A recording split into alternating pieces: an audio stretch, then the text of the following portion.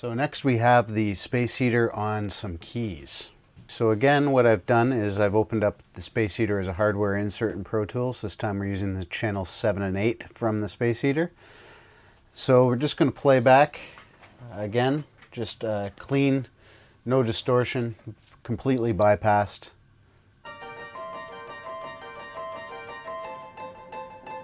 We've got our acoustic piano. Space heater engaged, just the transformer. Levels are set at about 3 o'clock. Bypassed.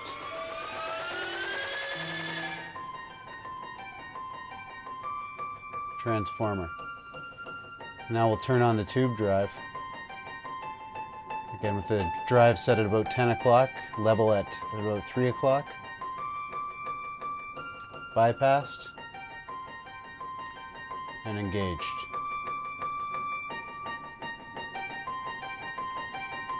I'll bring up the drives to about 12. Drives are 12. Bring the level back to about 1. Increase the drives up to about 3 o'clock. Bring the level back to about 12. Bypass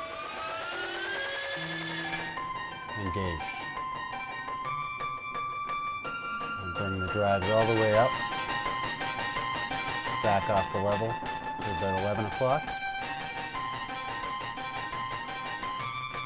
I'll bring these back to about 12 and level up to about 1.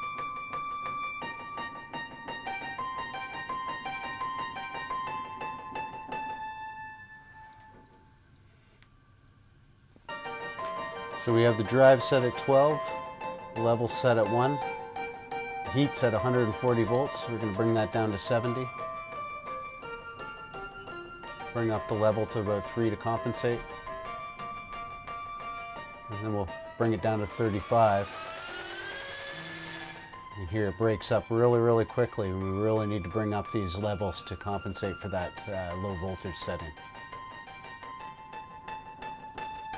Bypassed and in at 35 up to 70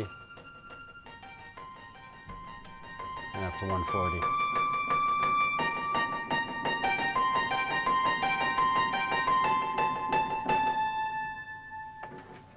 So that's the space heater on acoustic piano, uh, rather ambient recording of acoustic piano, but you can get the idea of how a little bit of distortion or a lot of distortion can really shape that piano sound.